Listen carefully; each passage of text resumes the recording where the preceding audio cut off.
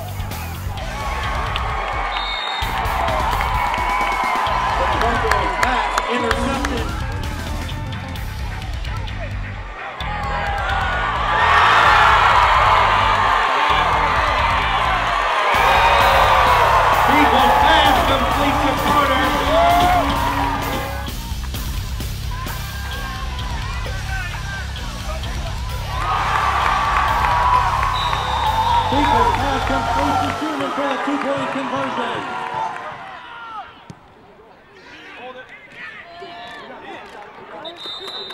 Welcome to Dukes All Access. I'm Shannon Chavez with head football coach Jerry Schmitt. Congratulations. Uh, the Dukes are undefeated at home this year after a 21 or 24-21 victory over Central Connecticut. It was another battle. Uh, the Dukes secured a seven-point lead in the final quarter and then added the three points that eventually um, sealed the sealed the win. Uh, what can you say about how the team came together in the final quarter? Oh, I give them a lot of credit because Central Connecticut does not go away. They're the number one offense in the NEC. So we knew they'd come back, and our guys stepped it up and finished off the game as tight as it was, kept their heads and finished off the game. Very proud of them, proud of this effort. Obviously, we play well at Rooney. Uh, we like playing here. Maybe if we can get all our games here, we'll be all right. And two of your seniors, uh, Jason Douglas and Gianni Carter, put two touchdowns on the board today. Um, what can you say about the way the seniors played in uh, their last home game here? I guess they wanted to give a show, you know, uh, here on Rooney Field for their last time. So I was, I'm really proud of every one of them. Bunch of offensive linemen blocking for them also, so that's good to see. Alrighty, well, thank you so much. And welcome to Duke's All Access. I'm Shannon Chavez with senior wide receiver Gianni Carter. Gianni, you uh, had a 65 yard touchdown today. You put 116 yards um, in the game today. Uh, you've had four uh, 100 yard games this season. You're the only one to do that. Uh, what can you say about your performance this year?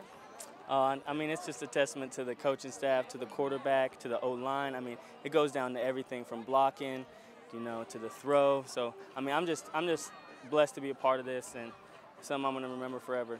And as a transfer, uh, what can you say about becoming the captain and just uh, your role on the team after just playing for the Dukes for two years? I mean, to be honest, you know, I never would have thought that I would be here, you know, as a captain. You know, I just remember that first year I was here, I was looking up to, you know, Connor Dixon and all those guys and being able to be in the in the same position, man, I just I'm just blessed. That's all I can say. Well, congratulations, Thank and you uh, we'll see you next week. Thank you. All right, thank thank you. you.